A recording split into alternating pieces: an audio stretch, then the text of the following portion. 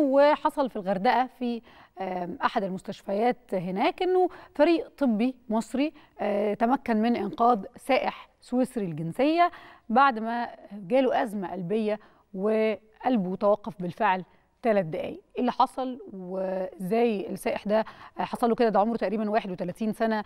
هنعرف كواليس اللي حصل.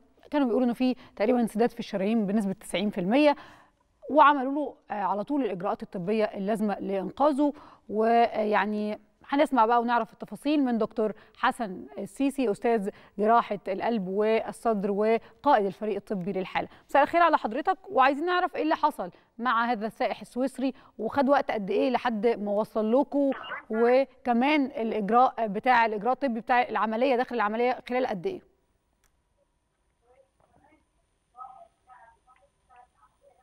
دكتور حسن حضرتك سامعني؟ آه أنا سامع حضرتك. اتفضل. أهلا وسهلا واهلا بالسادة المشاهدين. أستأذنك توطي التلفزيون وتسمعنا من خلال التليفون. عايزين نعرف كواليس اللي حصل مع السائح السويسري لحد ما وصل لكم المستشفى خد وقت قد إيه وكمان على ما أجرى العملية. آه أنا سامع حضرتك ومساء الخير على حضرتك الساده المشاهدين. هو الحقيقة إن إحنا آه السائح دوت آه هو قاعد في قرية سياحية في الغردقة. و جاله وجع هو عنده 34 سنة. وجاله وجع شديد في صدره. وجع جامد عمره ما حس بيه قبل كده. هو كان سهران اليوم اللي قبليها وما كانش نايم بقاله ثلاث أيام في حفلات وهو زوجته وجايين من سويسرا. والمفروض إن هم مسافرين يوم 28 فكان يعني هو كان قاعد 10 أيام فات منهم يومين أو ثلاثة جاء المستشفى يوم الثلاث بالليل. بوجع شديد في صدره ومع تغييرات في رسم القلب. جاء على الطوارئ وأول ما وصل الطوارئ حصل له توقف لعضله القلب عملوا له إسعاف فريق الطوارئ يعني عمل له إسعاف رئوي قلبي وخدوه بسرعة لأن مع تغييرات في رسم القلب اللي موجودة والوجع في الصدر تغيرات الظهر جدا في وجع القلب. يبقى واضح جدا إن هو بيبقى عنده حاجة في الامتداد في الشريان. ممكن طبعا دلوقتي نشوف الحاجات دي خصوصا في سن صغير. آه عملوا له قسطره في ساعتها بسرعة. ولقوا إن هو مش هينفع يتحط له دعامه وضع المكان اللي مسدود فيه الشريان ما ينفعش يتحط فيه دعامه آه علقوا له دواء آه هو كان عايز تنفس صناعي. حطوا له دواء معين. هو ما كانش عنده أي علم بحالته الصحية دي يا دكتور؟ و وجيت أنا بسرعة قابلت زوجته اللي هي في الصورة دلوقتي. و كان الكلام دوت يوم الثلاث بالليل. وهم طبعا ابتدوا عشانهم من سويسرا كانوا قلقانين جدا ومش متخيلة طبعا لأنه جوزها حاجة و30 سنة وهم لسه يعني في بداية حياتهم. وطلبوا التقارير والفحوصات وبعتوها ساعتها لأن عندهم شركة تامين طبي ممكن ياخدوه في طيارة. وقالوا حتى ساعتها إن هي أربع ساعات ولازم هنسأل المستشفيات بكرة الصبح اللي هم تبعها في سويسرا. طبعا سويسرا من البلاد المتقدمه جدا من الناحية الطبية. وردوا عليا يوم الأربعاء الساعة 2 الظهر إن هو الدكتور في سويسرا قال لهم لازم يقعد يعمل العملية.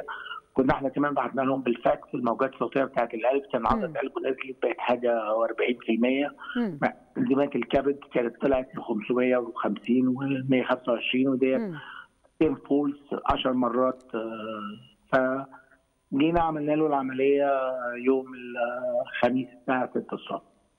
والنهاردة هو الجمعة هو يوم الخميس اتفصل من على جهاز التنفس والخميس كان بيتحرك في الأوضة والنهاردة قاعد في الأوضة وهو مسافر المفروض بعد أربع أيام. مسافر يوم 27 28 فاكر دكتور هو ما كانش عنده أي علم بحالته الصحية دي؟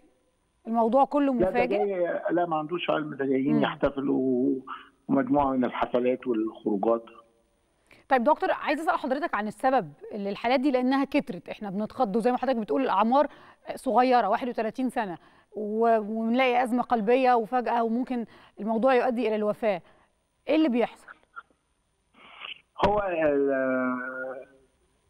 المريض دوت كان يعني هو كان جاي بيحتفل جامد جدا إرهاق شديد جدا بقاله ثلاث أيام ما بيسافر ما بي مدخن شره هو وبي وشيشة وسجاير و وحفلات طول الليل وطبعا هم بيشربوا كحوليات وما بينامش بياخدوا بعض الحاجات اللي تخليهم مبسوطين وصاحيين عشان يقدر يواظب ثلاث أربع أيام والحاجات ديت.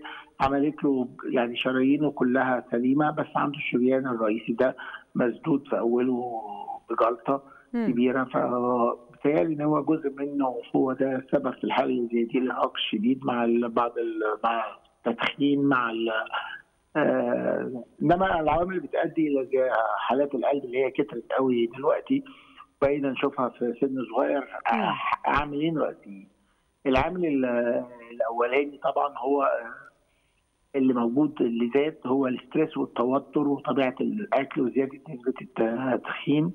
وطبعا العامل الثاني اللي دايما موجود هو العامل الوراثي. وفي عامل ثاني زود برضو الحالات إن دلوقتي بقى التشخيص متقدم. يعني زمان ما كانش بيبقى فيه تشخيص واحد ما كانش بيبقى حد عارف مم. هو إيه اللي حصل ويقول لك جدودنا وابائنا ده تعب وتوفى فجأة والناس ما تبقاش عارفة. إنما دلوقتي بقى ما في نبقاش تشخيص عارفين سبب الوفاة. في أسلوب حديثه للتشخيص وبقى وهو مرض العصر يعني تغيير الشرايين التاجيه في أمريكا وفي أوروبا وزيادة الأعمار السنيه وطبعا المريض ده سنه صغير بس آه، زيادة العمر. وصل في أوروبا لحاجه 90 سنة في أوروبا الشمالية السويد والنرويج وفنلندا والبلاد دي متوسط الاعمار 94 سنة. في أمريكا 89 سنة. فطبعا البلاد دي وفي مصر برضو متوسط الأعمار كبر. فده مرض بيجي برضو مع مع السن. الحالات دي كترت.